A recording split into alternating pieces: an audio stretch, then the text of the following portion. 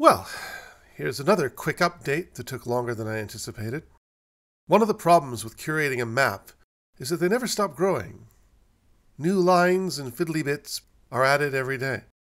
So when I began illuminating the map of our closest star system, I should have known it would be a lifelong job. Our backyard will always have new grottos and glades to reveal, and this one's a doozy. Let's get the quick update done first.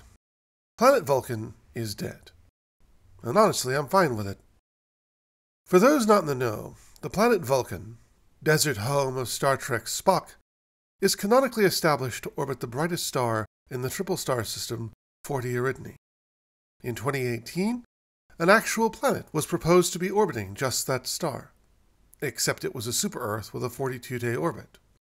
For all the hype about finding Vulcan, such a planet is too close to its star to be habitable. But now that 42 day signal has been revealed to almost certainly be due to stellar activity, and so the offending planet never actually existed, leaving Vulcan a tantalizing phantom yet to manifest. The big news involves another star in the constellation of Eridanus, Eridani, or 82.G Eridani, or HD 20794. No one, it seems, can settle on what to call it, so I'll just do what I did when I first stumbled across it and pick the easiest choice to say aloud. E Eridani, again not to be confused with Epsilon Eridani, is a homey yellow G type star, just slightly dimmer than the Sun, and possibly twice as old, and so a mouth watering prospect for possible planets. And in 2011, three purported planets were tentatively identified in orbit around it, all too close to be habitable. But in 2017, another study suggested three completely different planets, which, after a rush of studies in 2023 and a scouring of 20 years of data from radial velocity telescopes like HARPS and ESPRESSO, were finally confirmed in a paper released in January this year. The first planet, B, is a two Earth mass planet orbiting its star at roughly a third the distance of Mercury. Whether it resembles that planet, or more likely Venus, it is unlikely to be a pleasant locale. The second planet, C, is of roughly three Earth masses and lies roughly at Mercury's distance, and therefore likely resembles its closer sibling. The third planet, D, is why I am making this video. Another super Earth of about six Earth masses D has a wildly distended orbit. Its orbital eccentricity is 0.45, comparable to distant flailing dwarf planets like Eris or Gonggong. Its closest distance to its star is 0.75 AU, roughly that of Venus, but its farthest distance is 1.96 AU, which in our solar system would have it brushing the asteroid belt. But what is truly remarkable about this planet's orbit is that it spends 34% of its time within the star's habitable zone, the region at which liquid water can persist on its surface. This, of course, raises the question of whether D has a surface at all, a question which, because we have no planets of comparable mass in our solar system, is difficult to answer. Because D was discovered via radial velocity, the tug it gives its star as it orbits, we only know its mass, which places it exactly halfway between a terrestrial planet like Earth and an ice giant like Neptune. Which end of the spectrum it ultimately lies on is unknown, though it should be said that its mass is only a minimum. It could be considerably higher if its orbit were more inclined than assumed. The paper announcing the discovery has no time for speculation about what sort of climate or seasonal variation D might have. For that, it recommends another paper, published in April 2024, concerning a completely different planet around a completely different star. That star is Gliese 514, which, as seasoned followers of this series could probably tell from the name, is on the map, somewhere. Though, in all honesty, I'm not sure where, because I haven't reached it yet. So consider this a detour.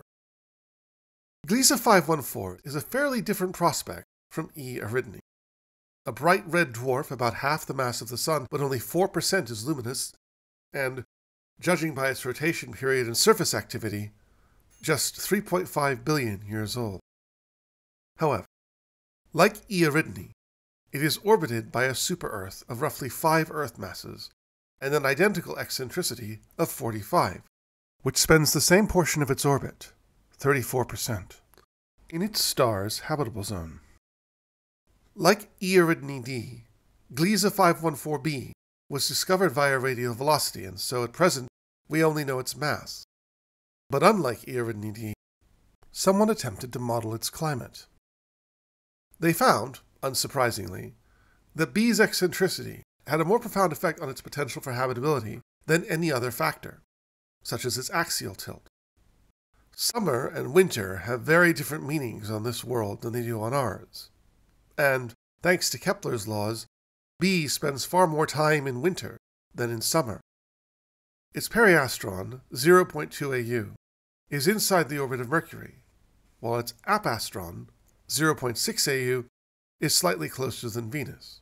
But due to 514's far smaller luminosity, its planets receive far less insolation than those in our system. At periastron, B receives about seven times the insolation it receives at apastron. Habitability, it transpires, is a tough trick for our freewheeling planet. The team established an index based on seasonal surface temperature sufficient to maintain liquid water, and found that, initially at least, the numbers were forbidding. Because B is colder than Earth on average, higher ocean cover increases the likeliness of habitability because water absorbs and retains heat. Also, less sunlight means that less carbon dioxide gets trapped in the ground as carbonate, leading to a CO2 dominated atmosphere. For a purely CO2 atmosphere, habitability was only attained at a 6 atmosphere surface pressure and a 60% ocean cover. With the addition of 1% methane to the atmosphere, habitability expanded to 4 atmospheres of pressure and 50% ocean cover. Assuming 1% methane and 3.6 atmospheres of pressure, the planet would remain frozen from pole to pole during its orbital winter, and only just step out of freezing during periastral summer. Speaking as someone in London in February, the best they could hope for would be what I'm seeing right now. At 4.6 atmospheres, the planet becomes largely temperate, despite freezing over and seeing complete atmospheric collapse at the poles at apastron. Increase the pressure to 6 atmospheres, and things become very different.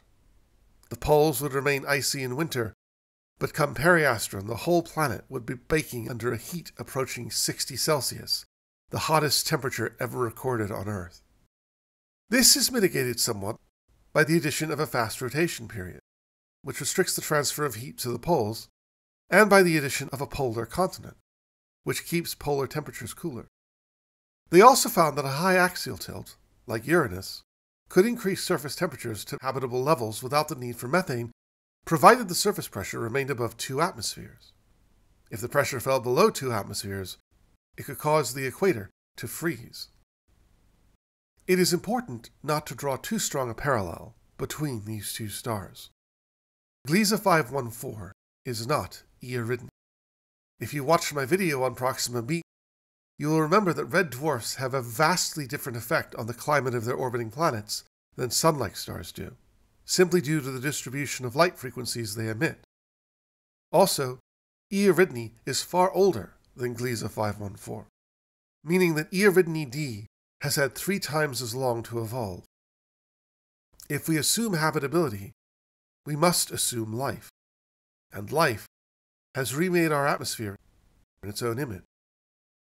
One of the earliest effects of this remaking was the eon spanning ice age known as Snowball Earth. Who knows what travails this wild world has known?